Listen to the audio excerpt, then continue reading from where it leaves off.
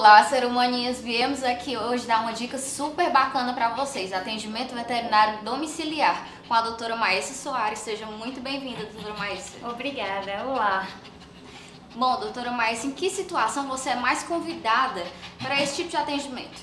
Bom, uma bem comum é a vacinação do filhote, né? Que pelo risco do animal não ter um, é, a imunidade toda formada, o proprietário acaba preferindo que essa vacinação seja feita em casa, até pelo risco de contaminação ser menor. Esse é um dos, dos maiores chamados que tem é, em atendimento domiciliar. E para clientes que moram fora de Fortaleza? Não, aí não tem problema nenhum, né? Geralmente é, eu faço o atendimento, ele é agendado, eu vou na cidade onde a pessoa tem essa necessidade e são cobrados apenas custos adicionais de deslocamento, mas o serviço é o mesmo.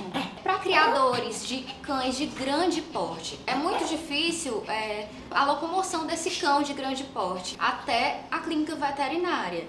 Então, você é muito convidado nesse caso, não é? É, eu diria que não só para cães de grande porte, os de pequeno também, até porque criador não tem um cão só, tem vários, né? É. Então, às vezes, a dificuldade de levar os, todos os cães até o, o, o, pet shop, né? E também a facilidade de preços e descontos que acaba dando pela quantidade de, de, de cães. Então, a gente dá assistência veterinária onde são feitas as vacinas periódicas, são feitas é, a, a avaliações periódicas mensais, semanais, dependendo do, do, do pacote feito com o criador. E o atendimento vet home em casos de emergência?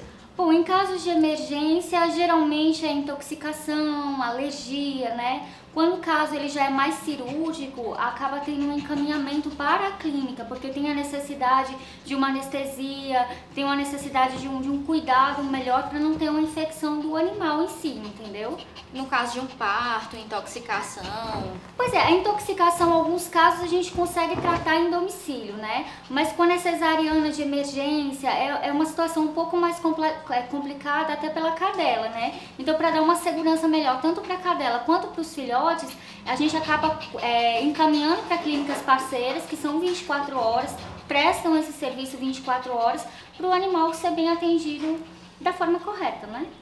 Então é isso, pessoal. Eu agradeço a vocês. Espero que tenham gostado do vídeo de hoje. Agradeço a presença da doutora Maísa Soares. Sim. Um beijo. Curtam as nossas redes sociais, se inscrevam no nosso canal e até mais. Até mais.